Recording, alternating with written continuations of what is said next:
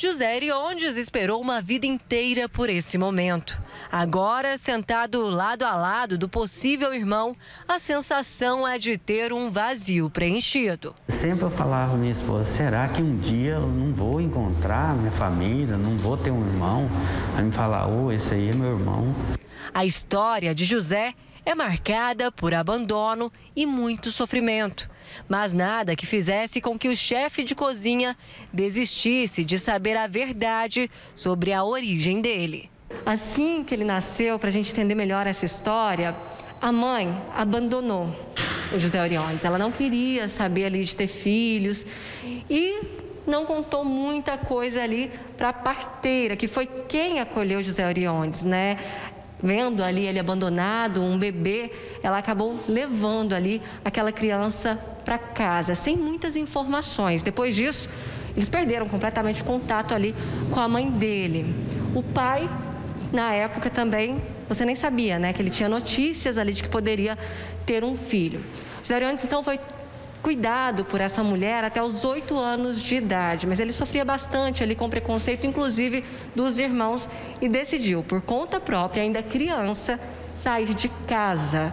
Como que foi isso? Conta pra gente. Foi uma tarde e, e eu tinha uh, ele, o Manelzinho, que era um, um irmão de criação, me ameaçou de me bater, eu peguei e falei, eu, eu pensei, não, eu não vou apanhar mais. Se eu for apanhar, eu posso fazer alguma coisa, algo errado com você. Aí eu peguei uma, as minhas coisinhas, uma calça, uma camisa e um, um facãozinho, pus na cintura e saí à tarde. Saí, eram umas, umas cinco para cinco e meia da tarde. Saí sem rumo. E peguei, assim, a gente morava na fazenda, a gente saía, eu saí, saí escondido. Inclusive eu dormi no caminho, na, na estrada, né? Tinha uma, uma casa velha, abandonada, eu entrei para lá, já eram umas 9, 10 horas da noite. Deitei naquela casa, no dia eu amanheci cedo, levantei e saí para a estrada de chão. E você decidiu ir para a cidade de Goiás, que era lá que você sabia que poderia ter alguns parentes ali da parte do seu pai, é isso? Não, eu não, não, não tinha certeza que, eu, que tinha ninguém por mim, né? Ainda adolescente, José chegou a encontrar um tio em uma fazenda próxima à cidade de Goiás, com quem morou por pouco tempo. Mas ele também tinha perdido contato com a família e não pôde ajudar nas buscas.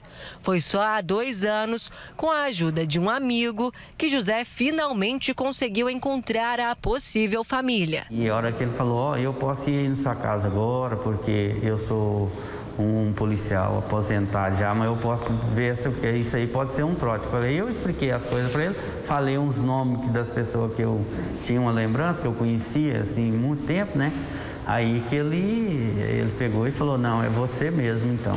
O Elson é o irmão mais novo aí da família, né? E foi o primeiro a ter contato ali com o José. Agora me conta, como que foi receber essa notícia? Foi uma surpresa ou vocês já sabiam aí que poderiam ter um irmão perdido? Olha, foi uma surpresa muito agradável, sim. Já sabíamos da existência do meu irmão, mas nem paradeiro, nem se era vivo ou se realmente né, nós teríamos a oportunidade de conhecê-lo. Seu pai comentava, então, que poderia ter um filho. Meu pai, já desde muito pequeno, ele sempre falava né, que tinha um filho mas nem tinha vínculo, não conheceu, não sabia nem paradeiro. E seu pai deu notícias dessa mulher ali que ele teve esse relacionamento e que poderia ter engravidado ali é, do José? O que, que ele falava? Quem era ela? Como que foi? Meu pai nunca comentou a respeito dessa história. Quando a gente conheceu o meu irmão, que fomos procurar um pouquinho e sabemos que ela era professora do meu pai. Meu pai era menor de idade na época, né? E minha avó saía às vezes para a cidade e deixava ela como babá para cuidar dos meninos. E nesse meio termo ela teve um relacionamento com meu pai. Um ano antes de encontrar a família, seu Dorival de Souza Silva, suposto pai de José Eriondes, morreu. Para Elson, o novo irmão é o mais parecido com o pai. Quando a gente viu o meu, meu maninho, foi bater o olho e falar, não, isso aí não tem jeito, né? Lembra muito meu pai, até o jeito de falar, o jeito de andar, as questões de, de movimento com os olhos, né, o mover da boca.